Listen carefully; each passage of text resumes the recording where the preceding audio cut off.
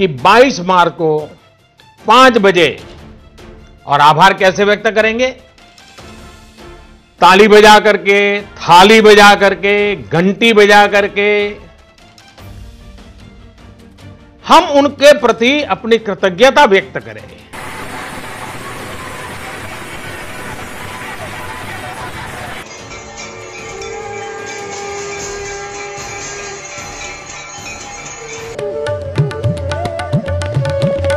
Corona virus के पूरी दुनिया में कुल तीन लाख से ज़्यादा केसेस हो चुके हैं और इनमें से निन्यानवे हज़ार से ज़्यादा लोग इससे रिकवर भी कर चुके हैं। मरने वालों की संख्या चौदह हज़ार के पार जा चुकी है। भारत में 425 केसेस आ चुके हैं कोरोना वायरस के और इनमें से आठ लोगों की अभी तक मौत हो चुकी है। इसके मद्देनजर ही भारत में तकरीबन लॉकडाउन भी घोषित कर दिया गया है। कारण ये है कि ज़्यादा से ज़्यादा लोग घरों से बाहर ना निकलें क्योंकि ये वायरस एक से दूसरे व्यक्ति में बहुत जल्दी से फैलता है।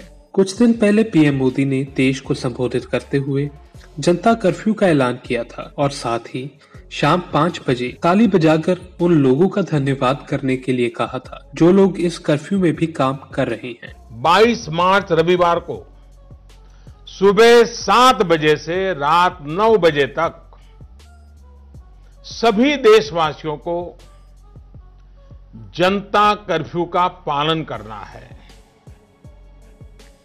इस जनता कर्फ्यू के दरमियान कोई भी नागरिक घरों से बाहर न निकले, न सड़क पे जाए, न मोहल्ले में या सोसाइटी में इकट्ठे हो, अपने घरों में ही रहें। साथियों, पिछले दो महीनों से लाखों लोग अस्पतालों में, एयरपोर्ट पर, दफ्तरों में, शहर की गलियों में दिन रात काम में जुटे हुए हैं। ऐसे लोगों का आभार व्यक्त करें। और आभार कैसे व्यक्त करेंगे? ताली बजा करके, थाली बजा करके, घंटी बजा करके हम उनके प्रति अपनी कृतज्ञता व्यक्त करें। उनका हौसला बढ़ाएँ। उनको सैल्यूट करें। पूरे देश के स्थानीय प्रशासन से भी मेरा आग्रह है कि 22 मार्च को 5 बजे सायरन की आवाज़ से इसकी सूचना लोगों तक पहुंचाएँ। लॉकडाउन इसलिए ज़रूरी है क्योंकि जितने ज़्यादा लोग एक दूसरे के कांटेक्ट में आएँगे उतना तेज़ी से फैलेगा। इसकी कुछ जानकारी यूट्यूबर ध्रुव राठी ने दी। आप सोचेंगे कि मैं तो हेल्दी हूँ, मुझे क्या फ़र्क पड़ रहा है इतना? और मैं एक वैसे भी यंग इंसान हूँ तो मेरे तो मरने के चांसेस वैसे भी इतने कम है इस वायरस से। तो मैं तो बाहर निकल जाता हूँ, मुझे फ़र्क नहीं पड़ता। एक ग्राफ आपको माउंटेन की तरह दिख रहा है और एक ग्राफ छोटी सी हिल की तरह दिख रहा है। अगर आप इन ग्राफ्स का पीक पॉइंट देखोगे, उस पॉइंट ऑफ़ टाइम पे नंबर ऑफ़ इन्फेक्टेड लोग देखो कितने हैं। बिना सोशल डिस्टेंसिंग के कहीं ज़्यादा नंबर ऑफ़ इन्फेक्टेड लोग हैं।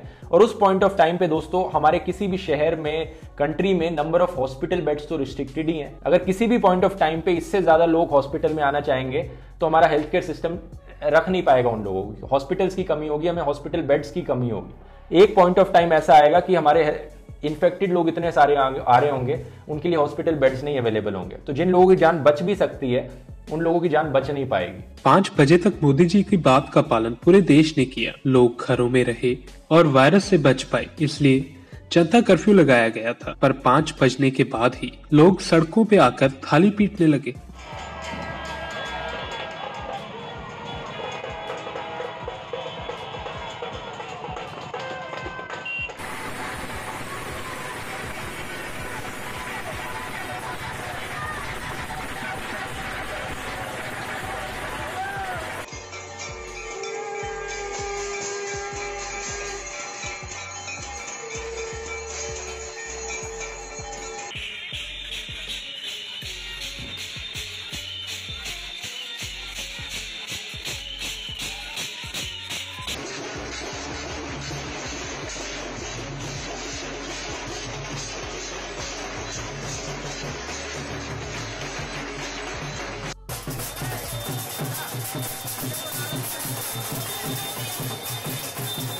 वायरस ना फैले इसलिए पूरे दिन लोग अपने घरों में रहे लेकिन पाँच बजते ही सारी मेहनत पर पानी फेर दिया वाह मोदी जी वाह वाह वाह कोरोना वायरस से बचने के लिए कनाडा के प्रधानमंत्री जस्टिन ट्रूडो ने एक आर्थिक राहत पैकेज के अलावा बेरोजगारों और छात्रों के लिए भी कई घोषणाएँ की हैं Hello, everyone.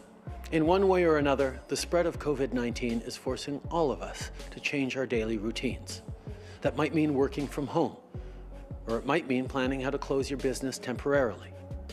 Many of you are worried about your jobs, about paying the bills, about taking care of your kids. But know that we've got your back. We've already announced a whole range of measures to protect jobs and the economy, from new rules on employment insurance to financing for businesses.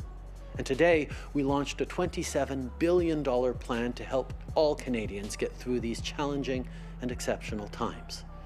Combined with other measures, we're announcing a total of $82 billion to support our people and our economy. That's more than 3% of our economy.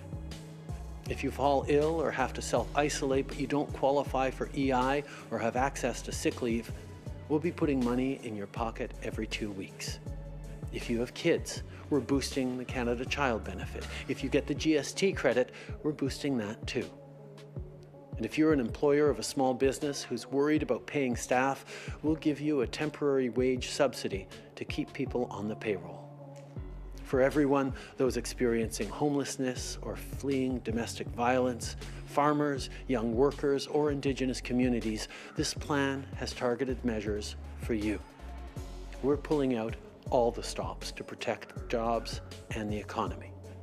And the same goes for people's health and safety. Singapore के प्रधानमंत्री Lee हिसीन लोंग ने corona virus से लड़ने के लिए आर्थिक package announce किया जिससे लोगों को आर्थिक दिक्कत ना आए Our economy is taking a big hit. That's why we did the $4 billion support and stabilization package in the budget last month to help businesses, workers, and households tied over the immediate period. This has helped. But with things still unfolding, we knew we might have to do more. The situation is especially serious for some sectors hotels, aviation, hospitality, and freelancers in the gig economy. But nobody has been spared. Everyone feels the impact to different degrees. So the government is working on a second package of measures. We will help our companies with their costs and cash flow to keep them afloat through the storm. We will help our workers keep their jobs and retrain during their downtime so that when things return to normal, our workers will be the first out of the gate and immediately productive. And we will give those who are retrenched and unemployed, as well as their families, an extra helping hand to see through this difficult period. और दूसरी ओर हमारे देश के महान प्रधानमंत्री मोदी जी ने अभी तक सिर्फ़ जनता कर्फ्यू का ऐलान किया है और जनता को मूर्ख समझते हुए पाँच बजे के बाद ताली बजाने को कहा है। 22 मार्च रविवार को सुबह सात बजे से रात नौ बजे तक सभी देशवासियों को जनता कर्फ्यू का पालन करना है। और आभार कैसे व्यक्त करेंगे? ताली बजा करके, थाली बजा करके, घंटी बजा करके, हम उनके प्रति अपनी कृतज्ञता व्यक्त करें वहीं दूसरी ओर, कई राज्य सरकारें इस वायरस से निपटने के लिए ठोस कदम उठा रही हैं। केरला सरकार ने कोरोना वायरस को लेकर स्पेशल पैकेज अनाउंस किया है, जिसकी जानकारी पिनारई विजयन ने अपने ट्विटर पर दी है। इस पैकेज में बीस हज़ार करोड़ रखे गए हैं वायरस से लड़ने के लिए। इनमें से 2000 करोड़ कुदमश्री की तरफ़ से लोन के तरीके से दिए जाएँगे। 2000 करोड़ रोज़गार गारंटी स्कीम के लिए। 1320 करोड़ उन हज़ार परिवारों की मदद के लिए जो पेंशन के लिए उपयुक्त नहीं है। और दो महीने की वेलफेयर पेंशन भी एडवांस में देगी केरला सरकार। वहीं यूपी के मुख्यमंत्री योगी आदित्यनाथ ने भी प्रदेश में 35 लाख दिहाड़ी मजदूरों को व अन्य लोगों को एक एक हज़ार रूपए के भत्ता देने का ऐलान किया है। वहीं पंजाब में भी मुख्यमंत्री कैप्टन अमरिंदर सिंह ने भी राज्य में सभी कंस्ट्रक्शन वर्कर्स के लिए तीन हज़ार रूपए की तत्काल राहत की घोषणा की है। राज्य सरकारें अपने स्तर पर लगातार लोगों को कोरोना से बचाने की कोशिश में जुटी हुई है और केंद्र की सरकार ने अभी तक कोई आर्थिक घोषणा नहीं की है। प्रधानमंत्री मोदी को बाकी देशों से सीख लेकर जल्दी कुछ कड़े कदम उठाने चाहिए ताकि इस वायरस को ज़्यादा फैलने से रोका जा सके और देश की आर्थिक स्थिति को भी बचाया जा सके। Bureau report Punjab today TV. If you like our channel, please subscribe and to get notifications about news, please click the bell icon.